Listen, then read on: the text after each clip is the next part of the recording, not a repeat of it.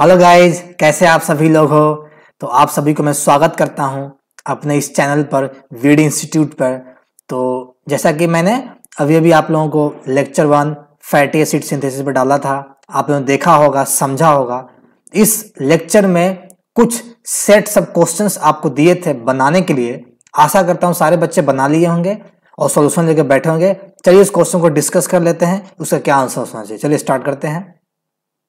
तो पहला क्वेश्चन हमारा यह है कि which of the following is not true about fatty acid synthesis इसमें से कौन सा स्टेटमेंट फैटी एसिड सिंथेसिस के लिए सही नहीं है? पहला कोफैक्टर्स एनएडीपीएस चाहिए, सही है। मैं आपको लिखा चुका हूँ कि फैटी एसिड का सिंथेसिस जब करते हैं तो क्या क्या रिक्वायरमेंट होनी चाहिए? रिक्वायरमेंट एनएडीपीएच सही है। साइट साइटोसोल में होता है, सही है। ये साइटोसोल में साइटोसोल में होता है, ठीक है? और ये आपका प्लांट सेल का जो क्लोरोप्लास्ट है, वहाँ भी होता है, ठीक है? उसके अलावा आगे बढ़ा जाए प्रिकर्सर टू कार्बन यूनिट ये भी सही है। दो कार्बन दो कार्बन यूनिट का जो प्रिकर्सर होता है, दो कार्बन यूनिट का, वो भी सही है सी टू होता है। यहाँ लिखा है कैरियर कार्नाटाइन कैरियर जो गलत है, क्योंकि आपको पता है, यहाँ कैरियर होता है ACP that is acyl carrier proteins होता है, ठीक है?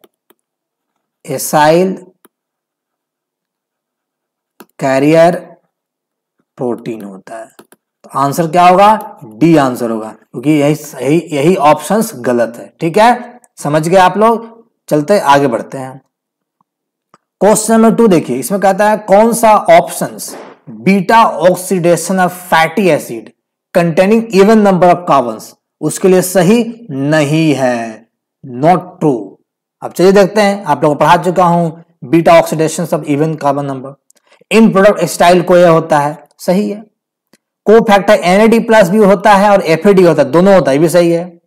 माइटोकॉन्ड्रिया के मैट्रिक्स में होता है। भी सही है। डिक्रीज ड्यूरिंग स्टार्वेशन जब आदमी भूखा होता है, उस समय इसका संख्या, इसका जो कॉन्सेंट्रेशन घट जाता है। ये गलत है। ठीक है? तो ऑप्शन सी रॉन्ग है। आप ऑप्शन एलिमिनेट करके भी सवाल को बना सकते थे। ठीक है? चलिए आगे बढ़ते हैं। क्वेश्चन थर्ड देखिए, ये क्वेश्चन आपके सी एस आई आर दो हज़ार अठारह में पूछा था। क्वेश्चन क्या है? कि कॉलम वन में को दिया हुआ है। कॉलम टू में इस को का केमिकल ग्रुप जो ये ट्रांसफ़र करता हुआ दिया हुआ है। ठीक है? मतलब सम को that serve as transient carriers of specific chemical groups तो कोइंजाइम लेफ़्ट साइड में दिया हुआ है, लेफ़्ट कॉलम में दिया है, राइट कॉलम में दिया है स्पेसिफिक ग्रुप जिसको वह पर्टिकुलर कोइंजाइम कैरी करता है। चलिए देखते हैं। कोइंजाइम ए की अगर बात करें कोइंजाइम ए आप सबको पता है ना कि ये coenzyme A fatty acid oxidation में पार्टिसिपेट करता है, जहाँ पर ये एसाइल ग्रुप को ये कैरी करता है एसाइल ग्रुप कैरी करता है। ए का टू होगा। देखो कहा ए का टू है। ए का वन गलत ए का थ्री गलत ए का फोर गलत। कितना सवाल सेट किया सी एस आई ने। ए का टू होगा, बाकी ऑप्शन अपने आप बार देख लो क्या होगा। फ्लैविन एडनिन डायनिक्लोटाइड बी का इसमें वन दी इलेक्ट्रॉन्स डोनेशन होता है किसको एफएडी कहते हैं शॉर्ट में। एफ़ क्या करता है? इलेक्ट्रॉन देता है भी सही है। पैराडॉक्सल फॉस्फेट सी सी का इसने फोर दिया है। एमीन एमिनो ग्रुप को कैरी करता है पैराडॉक्सल फॉस्फेट और निकोटिनामाइड एडेनिन डाइनिक्लोटाइड ये क्या करता है? हाइड्राइड आयन को कैरी करता है, याद रखिएगा। ये हाइड्राइड आयन को कैरी करता है एनएडी ठीक है? कोई दिक्कत नहीं है, कोई समस्या नहीं, समझ में आ गया इसका जवाब होगा आंसर टू होगा। ठीक है? चलिए आगे बढ़ते हैं। ये सवाल देखिए, क्या पूछा? सवाल दिया है कि फैटेसिस सिंथेसिस मल्टी एंजाइम कॉम्प्लेक्स सही है, स्टेटमेंट दिया हुआ है। It catalyzes the synthesis of long chain fatty acid ये भी सही है। But its structure differs in various organisms बहुत सारे ऑर्गेनिज्म इसका स्ट्रक्चर डिफर करता है। जैसे कि मैंने पढ़ा चुका हूँ आपको अपने लेक्चर्स में, जैसे कि ईस्ट सेल ले लो ईस्ट ले लो प्लांट सेल ले लो, ठीक है? बैक्टीरिया ले लो, ठीक है? मैमल्स ले लो, इन सभी में इस एंजाइम का स्ट्रक्चर डिफर करता है। तो इसी रेस्पेक्ट में कुछ स्टेटमेंट प्रपोज किए गए हैं। फैटी एसिड सिंथेस के स्ट्रक्चर को डिफाइन करने के लिए किसमें? बैक्टीरिया एंड प्लांट में। तो बैक्टीरिया एंड प्लांट में फैटी एसिड सिंथेस जो एंजाइम होता है, उसका स्ट्रक्चर के बारे में चार स्टेटमेंट दिया है। अब बताना है, इसमें कौन सा स्टेटमेंट सही है? पहला स्टेटमेंट देखिए there are single enzymatic activity single enzymatic activity shown by seven different polypeptide polypeptide ऐसा कोई ऑप्शन इस, ऐसा कोई होता ही नहीं, गलत ऑप्शन है। ठीक है? ये सेवन है ना आपका? सेवन डिफरेंट पॉलीपेप्टाइड्स इन जिसमें एक ही एंजाइमेटिक एक्टिविटी है। अगर याद होगा तो ये आपका मैमल्स का, यानी वर्टिब्रेट्स में होता है। सात एक्टिविटी एक ही पेप्टाइड में होता है। ये मैमल्स का है तो ये जवाब नहीं होगा।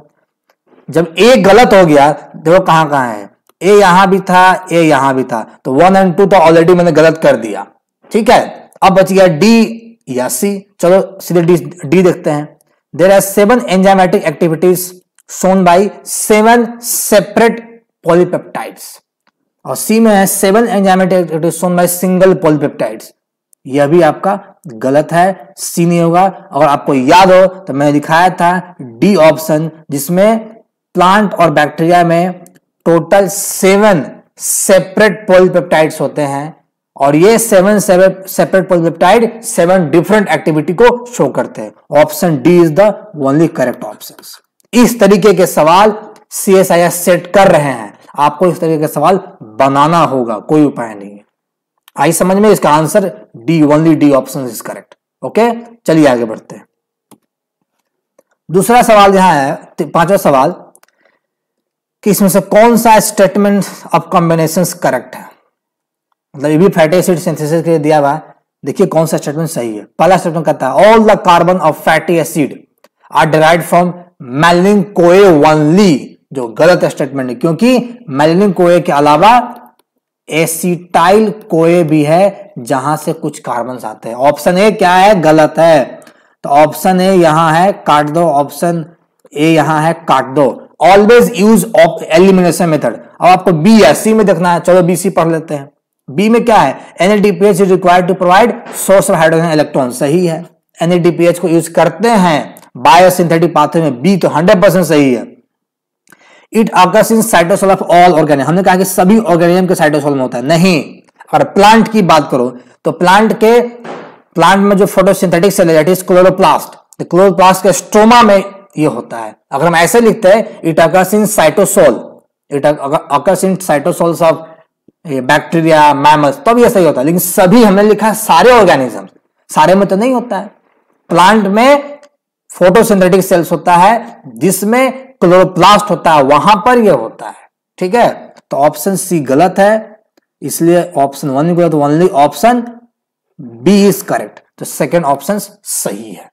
इस टाइप के सवाल सी एस आई आर अपने पेपर में खास करके सेक्शन सी में इस टाइप के सवाल स्टेटमेंट बना करके पूछे जाते हैं। ये सेक्शन बी में भी आ सकता है, कोई कोई ठिकाना नहीं है। इसी तरह आईआईटी जैम गेट वाले भी इस सवाल को पूछते हैं। एक ही कंसेप्ट हर जगह अप्लाई होता है। इसलिए ये मत समझिए कि शेष आया क्वेश्चन है तो गेट में नहीं आएगा। कहीं भी आ जाएगा। गेट में छोटा छोटा सिंपल क्वेश्चन पूछेगा शेष आया में थोड़ा टफ क्वेश्चन पूछ देगा। ठीक है? तो आशा करता हूँ अपने जवाब अपना चेक कर लिया हुआ किसका कितना सही होगा, ठीक है? तो इसी के साथ लेक्चर समाप्त होता है। आशा करता हूँ आप सारे क्वेश्चंस को बनाए होंगे एंजॉय किए होंगे और मेरे द्वारा दिए गए एक्सप्लानेशन भी आपको अच्छा लगा हो तो वीडियो लाइक कर देना। नए बच्चे चैनल को सब्सक्राइब करना नहीं भूलना और इसको जितना हो सके नए बच्चे तक स्प्रेड कीजिए अपने दोस्तों को। अगर आप संतुष्ट है तो अपने दोस्तों को बताइए मेरे चैनल के बारे में कि हाँ यहाँ पर भी लेक्चर्स दिए जाते हैं सीएसआईआर के लिए गेट के लिए आई आई के लिए। इवन मेडिकल के लिए भी लेक्चर्स आते हैं जो मैं मेडिकल के सेक्टर में डालता हूँ तो वह भी इंपॉर्टेंट है, जो बच्चे नीट की तैयारी करते हैं, ठीक है? तब तक बाय अलविदा टेक केयर फिर मिलते हैं एक नए टॉपिक के साथ किसी नए वक्त पर। Bye take care